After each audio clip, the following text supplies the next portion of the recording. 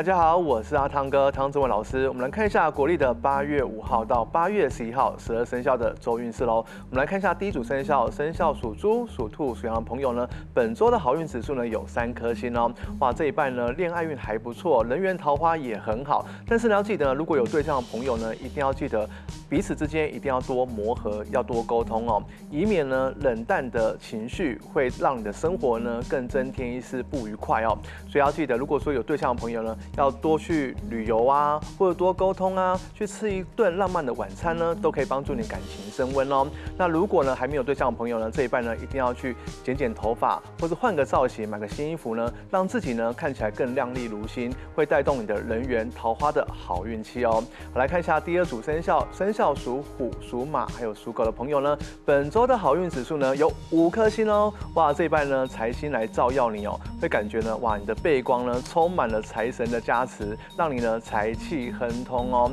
那这一拜呢，在金钱方面的运气呢，可以说是带动你的工作运哦。因为呢，有一些呃，当财神来敲门的时候，工作上呢，有一些贵人呢，会告诉你说，哎，哪边有赚钱的机会啊？我帮你介绍哪个客户啊？那这个时候呢，你一定要心存感恩哦。当你呢有赚到一些业绩的时候，也别忘记了，一定要多请客啊，让你的人脉呢可以更加的广结善缘哦。好，来看一下第三组生肖呢，生肖属蛇、属鸡还有属牛的朋友呢，本周的好运指数呢只有一颗星。哇，这一半呢是非缠身呐，小人呢感觉呢在侵扰你的生活跟你的工作，你会觉得说啊，小人呢一直来干扰你，让你呢在工作上呢有一种阻碍不前的一种现象哦。那以及呢口舌是非呢会让你呢卷入一些别人的这种人我是非当中，甚至于呢有一些官司缠身的状况哦。所以要记得这些是是非非呢，一定要把自己的生活或者工作上呢，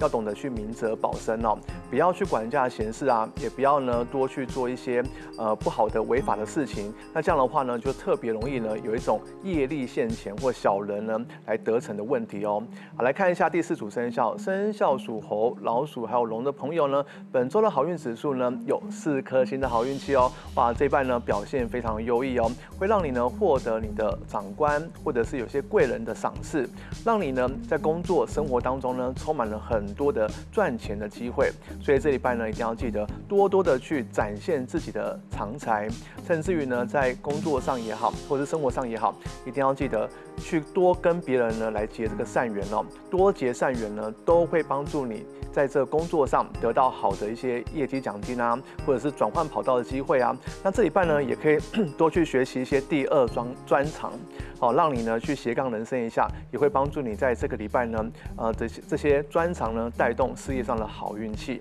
好，我们来看一下加码的部分，财运最好生肖属狗的朋友，以及工作最顺生。生肖属猴的朋友，以及呢桃花最旺生肖属羊的朋友，那本周呢逢到了国历的八月七号呢，就是立秋节气喽，哇，代表呢秋天要来临了，所以呢大家可以在立秋节气这一天呢，如果你想要增旺你的事业运，想要增加你的财运的话，这一天不要忘记了去拜土地公哦，去祈求呢你二零二四年的下半年呢都可以呢丰收。哦，在你的工作上的丰收、事业上的丰收、财运上的丰收，帮助你呢。都可以更上一层楼哦。以上就是本周的生肖的周运势，提供给大家参考。